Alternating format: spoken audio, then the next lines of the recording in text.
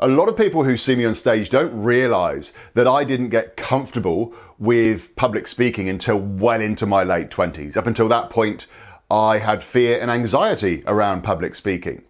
Now, what's really important for you to realize is that fear or anxiety around public speaking is something that we learn. We are not born with a fear of public speaking. As babies, we'll quite happily wail out to get attention. As young kids, we'll, we'll run around and, and skip around, singing our little hearts out.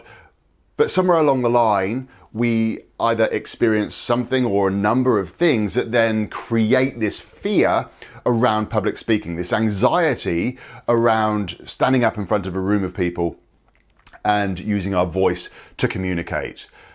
It could be that maybe you came from a family that thought that children should be seen and not heard, and so you were constantly told to be quiet or to shush as a young child, which then has suppressed, started to suppress you and stopped you speaking out. Maybe at school you were asked to read out a page of a book, and as you were reading down through, you messed up a few of the words, and every, all the other kids in the class started laughing at you, and so you've then created this this memory that speaking out causes embarrassment or it causes you to look stupid. Now, I can very vividly remember a very significant moment in my life that changed the way that I felt about public speaking. Now, before I tell you the story, this voice that you are hearing now, this very low baritone voice, I have always had a voice this low. Even as a young child, I sounded like a foghorn. At the age of seven, I was doing the Christmas Nativity play at school, and we, we were doing the rehearsals. Now, if you didn't have a part in the play, either as like Mary or Joseph, or as a wise man, or you put a tea towel on your head and pretended that you were a shepherd, if you didn't have a main role, then you had to be in the school choir.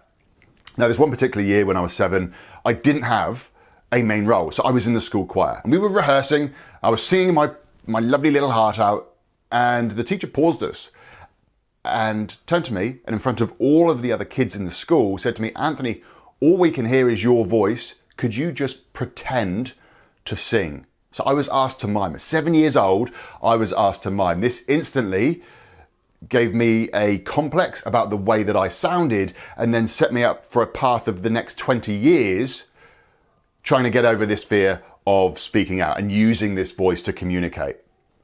So what I want you to get out of this is it's really worth looking back and trying to identify any significant moments that have happened in your life or significant events that have happened that have caused you to feel this fear of public speaking. Once you identify them, it allows you to understand why you are fearful of public speaking and it allows you to change that story. It allows you to move forwards with uh, and create a new identity so that you aren't scared about speaking out, so that you aren't scared about speaking in public. My, my goal for you and what I'm trying to do through these videos is to really help you and as many other people as possible really understand this whole area of communication because your ability to communicate will affect your success, your happiness, and and what you will achieve in your life. So I really want to be able to help you grow those tools as a communicator, whether that's standing on stage and speaking to hundreds of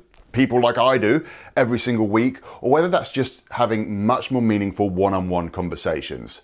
So take a take a look back. What are the significant events that have maybe affected your perception around public speaking? See if you can identify them, and that is just the first step in moving forwards to to becoming comfortable when it comes to public speaking. Now, look, if you found this video useful, if you found it valuable, if you've enjoyed me sharing my story with you as to, as to how I became fearful of public speaking, please either leave a comment, share this, hit that like button, give it a thumbs up. But I'll see you in the next video. But until then, my name's Anthony Laye. Take action, create your story.